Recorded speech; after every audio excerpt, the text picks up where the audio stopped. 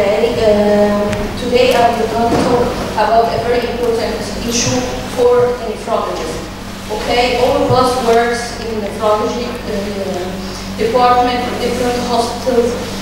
We see patients with cancer and they are uh, taking our advice what to do with these patients how to deal with a cancer patient and acute kidney injury. Okay? Uh, epidemiologically, there is a large population-based studies that have supported the conclusion that acute kidney injury is more common uh, in patients with cancer, depending upon the definition of acute kidney injury. The incidence rate varies. In one study that used the cutoff point for acute kidney injury, uh, rise by about 50%. This leads, uh, this causes acute kidney injury with 17.5% in the first year after diagnosis of cancer. Cancers with high-risk kidney injury are renal cell carcinoma, hepatocellular carcinoma, lymphomas, leukemias, and what's called hematopoietic, uh, hematopoietic uh, cancers. And, uh, of course, the multiple myeloma. This is the famous Rifle criteria. This is our criteria to diagnose acute kidney injury in any patient. Okay, the outcomes of the study is that a patient, a patient has a cancer and goes to uh, have acute kidney injury. Uh, acute kidney injury is associated with substantial morbidities and mortalities. In one study, uh, with uh, hematological cancer in induction phase, during induction of chemotherapy, the mortality rises to 14% in risk category in the rifle criteria I showed you before, and uh, to 62% failure in failure category, and this in correspondence to 4 only percent to have acute kidney injury with a patient out of the rifle criteria. Another study in cancer patients in the ICU the mortality reaches 49% in high risk category and 62% in injury category and 87% in failure category. In addition, that only 4% in patients having no uh, acute kidney injury group. Okay, uh, this is why, because uh, there is cancer-specific risk factor for acute kidney injury. Usually older age congestive heart failure, uh, a, chronic kidney disease in the patient from the start, hypovolemia that uh, caused by chemotherapy, nausea, really, uh, vomiting, or acute graft versus host disease. Distant metastasis, multiple myeloma, liver cancer, nephrectomy in renal cell carcinoma, and induction chemotherapy for acute lymphoma or leukemia. Okay, this is the famous multiple myeloma slide. What is the mechanism of acute kidney injury in a multiple myeloma patient? Mostly, uh, up to 50% of the patients who are diagnosed with multiple myeloma have 50% uh, rise in elevated serum creatinine at the time of the diagnosis. This is very, very, very much common. And in the course of multiple myeloma, we see too many patients, even, even in the start, they don't have any chronic kidney disease or any acute kidney disease, they develop acute kidney injury during the course of their multiple myeloma treatment. Okay, uh, to diagnose multiple myeloma, we have to do the serum uh, free light chain assay and serum protein electrophoresis. If there is a normal kappa lambda ratio, the uh, free light chain uh, and free light chain are detected, we have to do the urine 24 hours. Uh, the injury, acute kidney injury, might be due to three causes. The first cause is due to the cast nephropathy or due to proximal tubular disease. The other uh, type of injury is due to other uh, factors than paraproteinemia, like the hypercalcemia, volume depletion, tumor lysis syndrome, urate nephropathy, acute nephrocalcinosis, and sepsis. Or due to glomerular disease. Secondary glomerular disease can be caused due to amyloidosis, monoclonal IgG deposition, proliferative glomerulonephritis, uh, with the monoclonal IgG deposition, monoclonal cryoglobulinemia, membranoproliferative GNC3 glomerulopathy, or fibrillary glomerulonephritis, and immunotactoid glomerulopathy. Okay, regarding the cast nephropathy, this is due to obstruction of uh, the tubules by the light chains that goes into the tubules bind to the, to the famous phospholipid protein, which is called now uromodulin. They bind together and form insoluble casts. They uh, obstruct the tubules that causes reactive oxygen species and uh, tubular injury and uh, uh, tubular injury and mitochondrial damage in the uh, tubular cells. Okay, the proximal tubular disease is, the same mechanism but occurs in the proximal tubules and this might lead to Fanconi syndrome and proximal tubulopathy even if the patient doesn't have elevated endothelial creatinine. Okay, the treatment of, heart, uh, of cast nephropathy uh, uh, is first of all we have to do hydration, hydration, hydration by normal saline, uh, correct the hypercalcemia. If we can do uh, plus starting the chemotherapy which will lead to high recovery rate. There is a new proteas uh, proteasome inhibitor called the proteasome, uh. This is, which is called the Velcade, of course, in the market. Uh, the Velcade makes the 70% uh, better in the renal outcomes in the patient with multiple myeloma using it. Uh, in association with thalidomide or lenalidomide, uh, and there is 75% that the patient might be off dialysis. The patient who started dialysis in multiple myeloma of course by this treatment can be uh, off dialysis. Okay, stem cell transplantation is a good uh, option for treatment of uh, uh, bone marrow transplantation is a good option for treating of multiple myeloma, but the problem is that the uh, hematological manifestation is better, but the kidney uh, uh, manifestations are not very improved by bone marrow transplantation.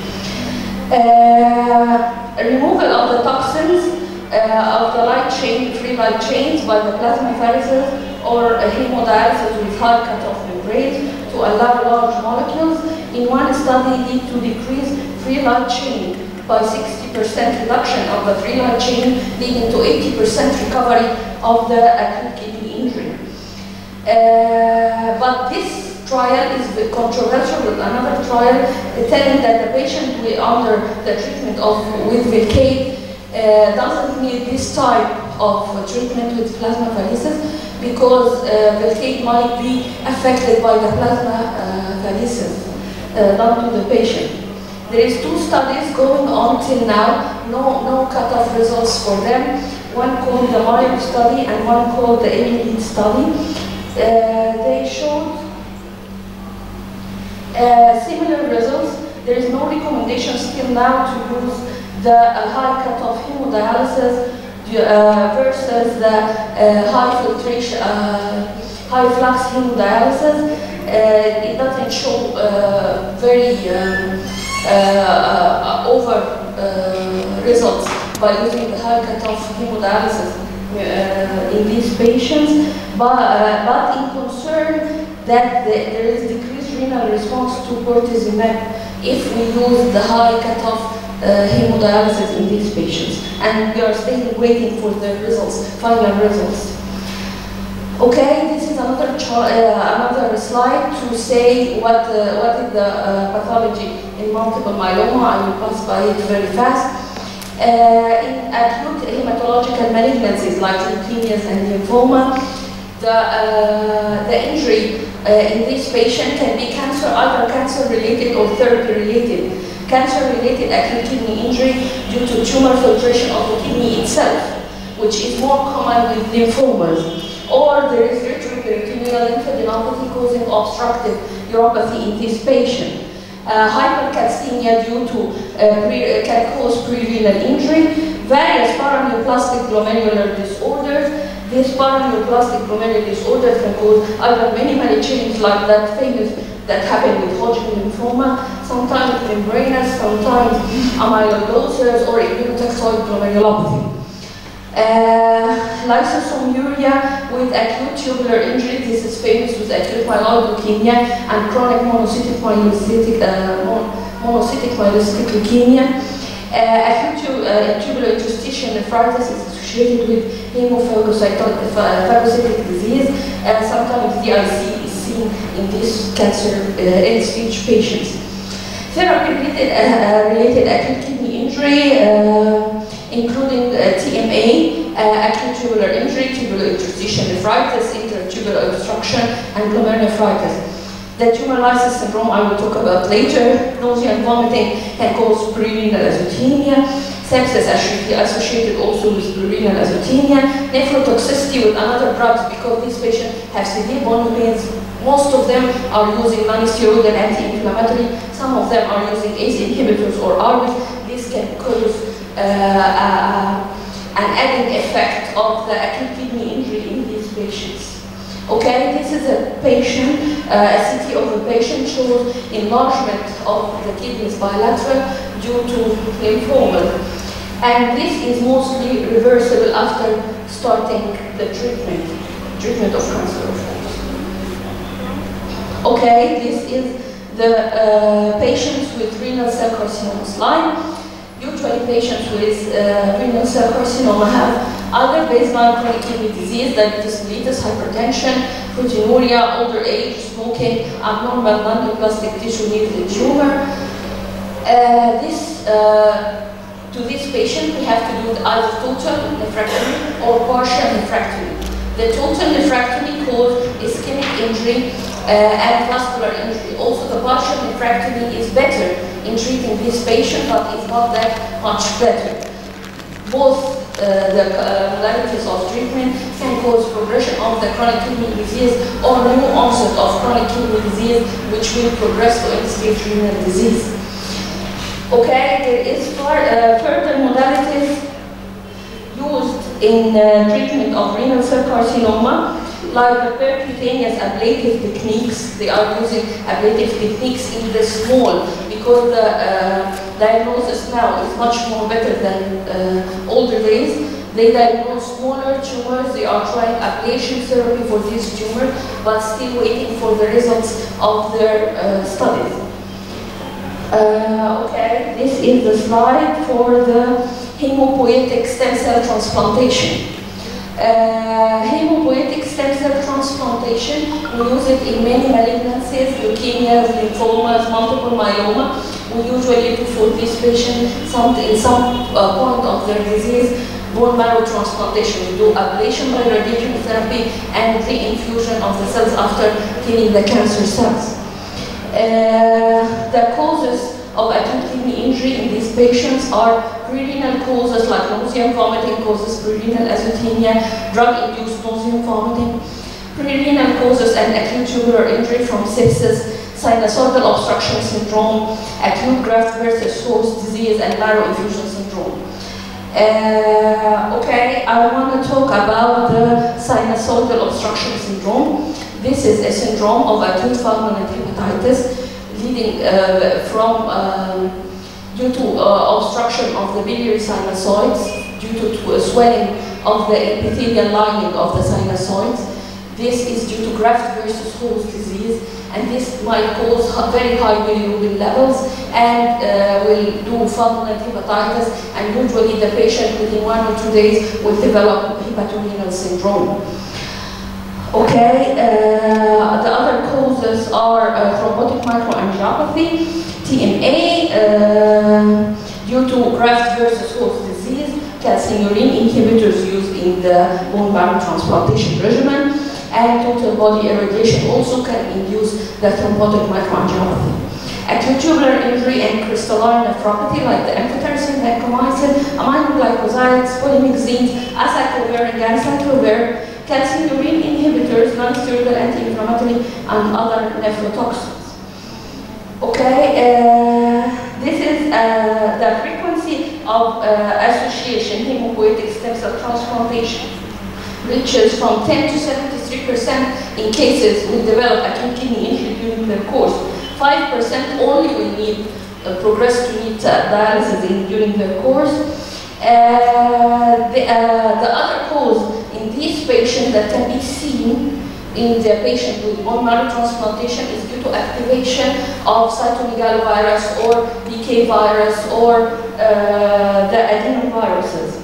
This can cause acute glomerulonephritis or tubulointerstitial uh, nephrosis.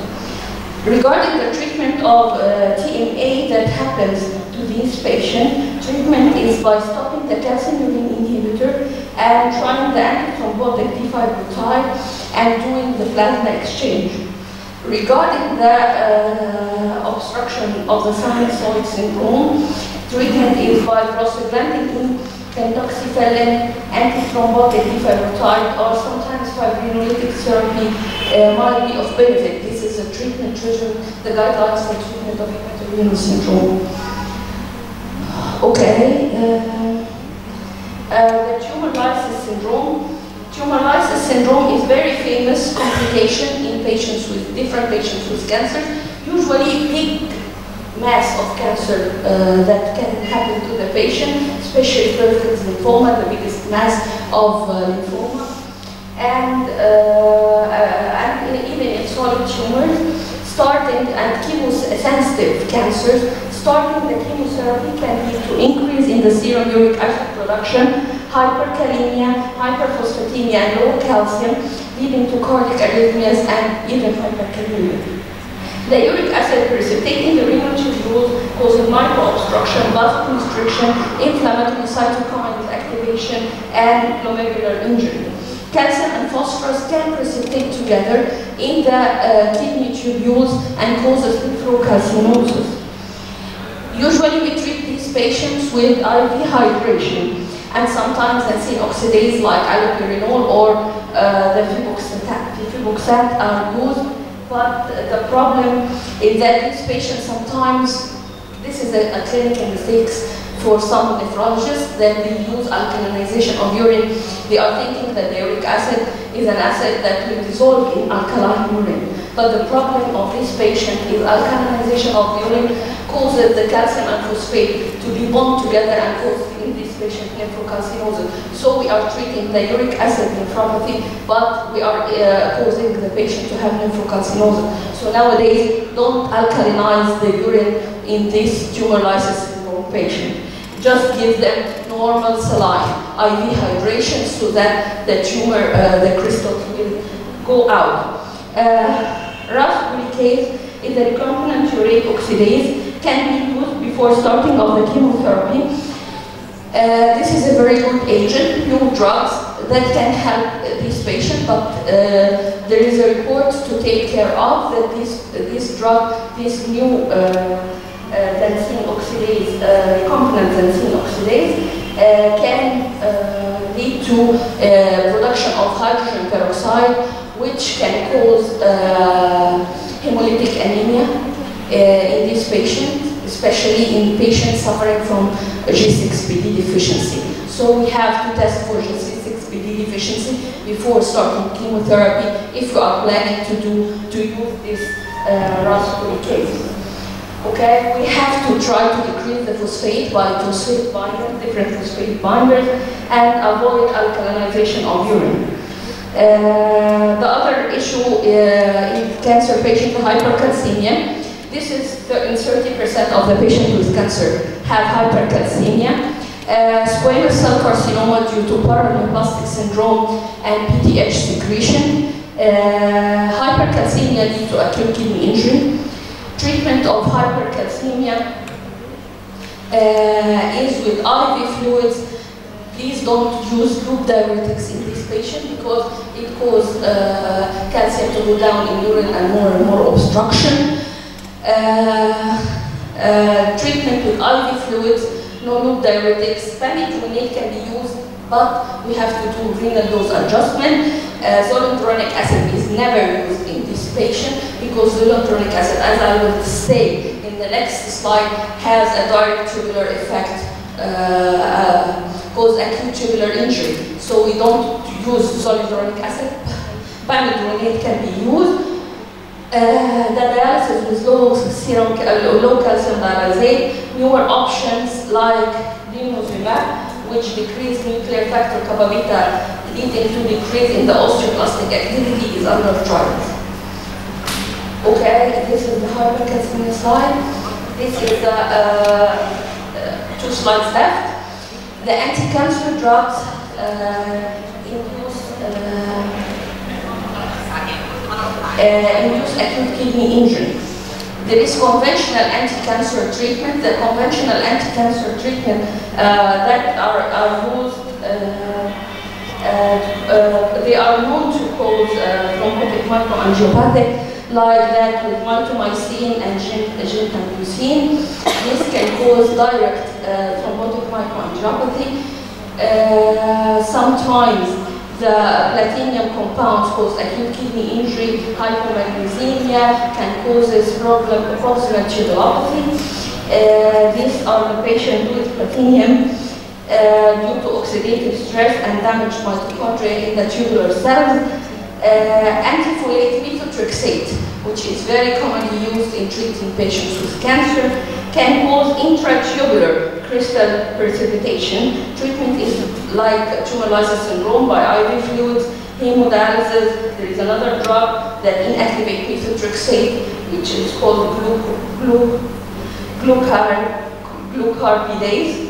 This new drug is under trials now to uh, to inactivate methotrexate in case of the patient having acute kidney injury after methotrexate therapy. Uh, these are the conventional treatments.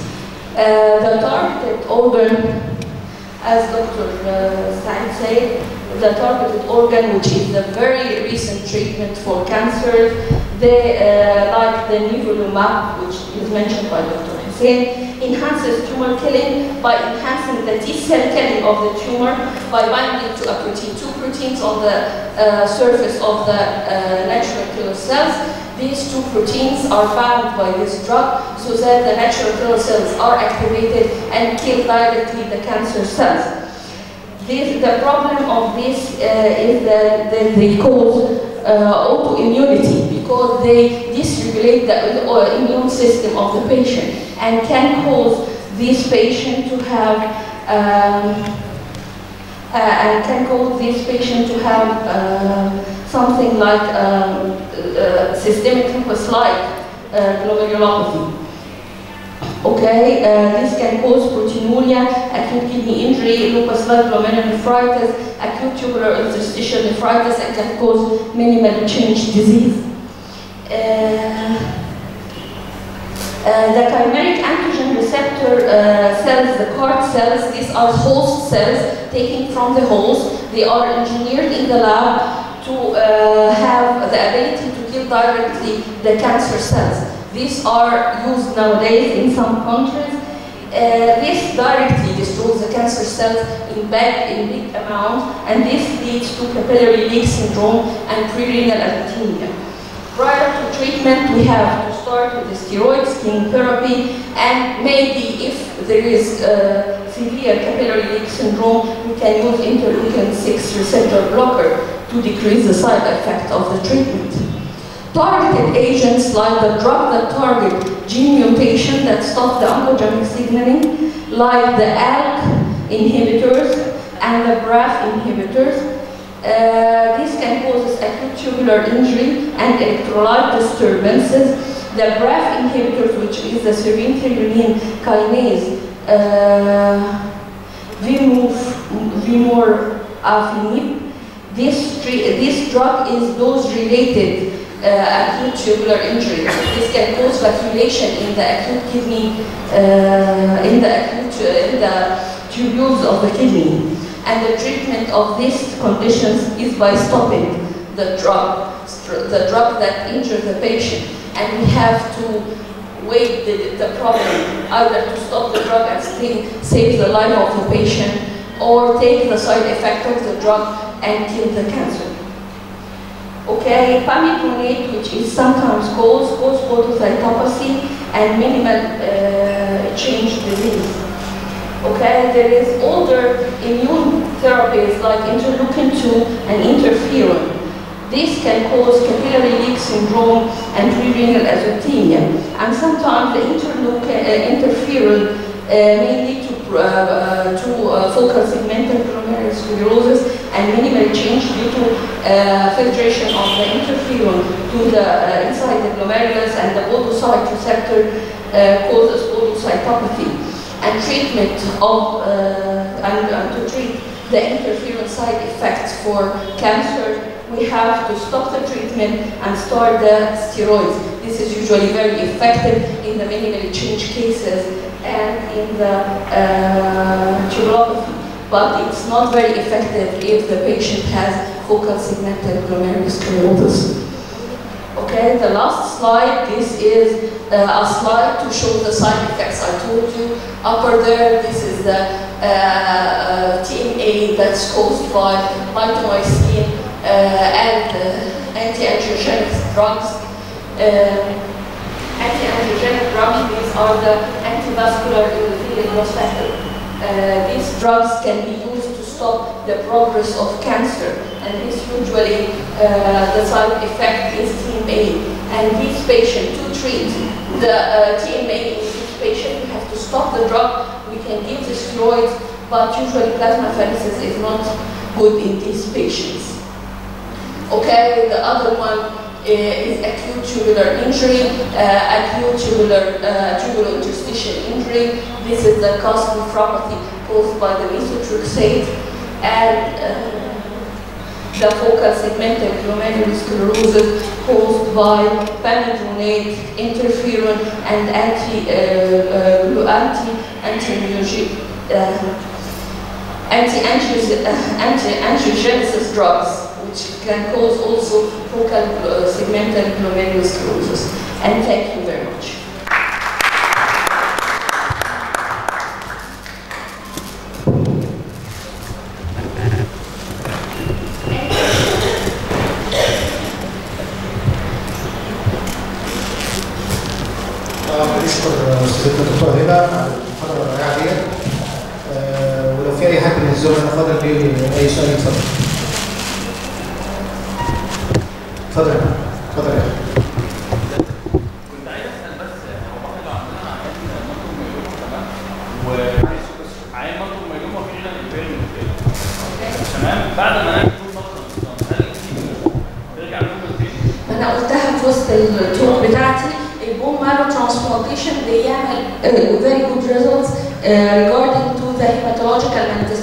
manifestations of multiple myeloma.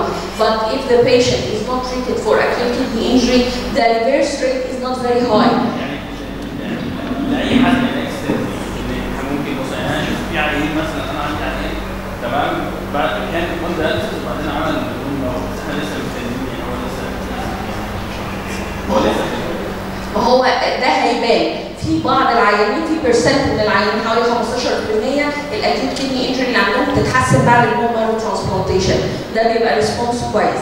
وفي بعض العيانين تانيين ما بيتحسنوش بعد البون ترانسبلانتيشن يعني حوالي 75% أو 85% no improvement in the acute kidney pa- in the acute kidney disease in usually we select for bone marrow transplantation the patient not suffering from acute kidney injury if the patient has acute kidney injury we delay postpone the bone marrow transplantation because the bone marrow transplantation doesn't have a very good effect on the kidney injury in these patients okay thank you so much بس عاوز اعرف دكتور هبه بالنسبه لحضرتك طبعا هو البريورتي هو الابلكيشن او الابلكيشن بالنسبه لي في القصه كلها آه، لكن مثلا حالات الكانسر سيلف مثلا السوليد كانسر السوليد تيومرز ممكن تدي برينس نفروباسي أو الليمفوماز أو كده ممكن تدي نمي تشينج اتش بيرسون أو الترلي بلس برضه الايشو بتاع الراديشن نفروباسي هل لسه موجود الكم اللي هو يعني يلفت النظر ليه أو الانتباه ليه؟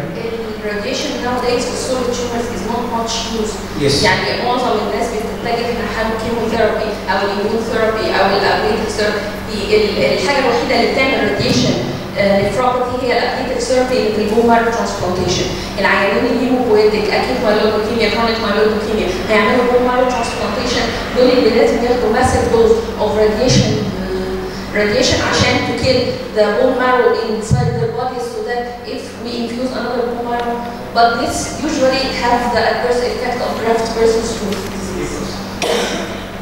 مش أي أسئلة تانيه من الزملاء ماشي نشكر الأستاذ الدكتور هبه مره ثانية وإن شاء الله نفتح الفترة الجاية بس هنسأل بس كانت فقره شكرا دكتور هبه